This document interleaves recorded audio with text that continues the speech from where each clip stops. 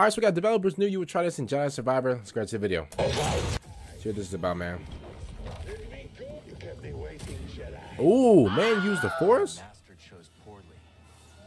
Okay. That Darth Vader? Oh no. Oh no, he's on. Oh my god, he got LeBron defense. Bruh. Bruh.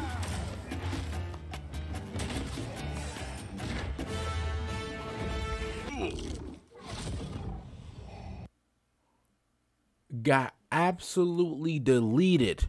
That man got deleted like a file on your computer.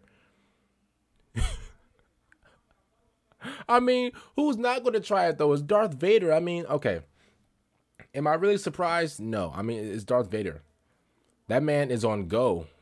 you thought you had him lacking just because his back was turned towards you? No. Mm-mm. No, you tried to take him up to the heights and then just throw him off? No. That's crazy.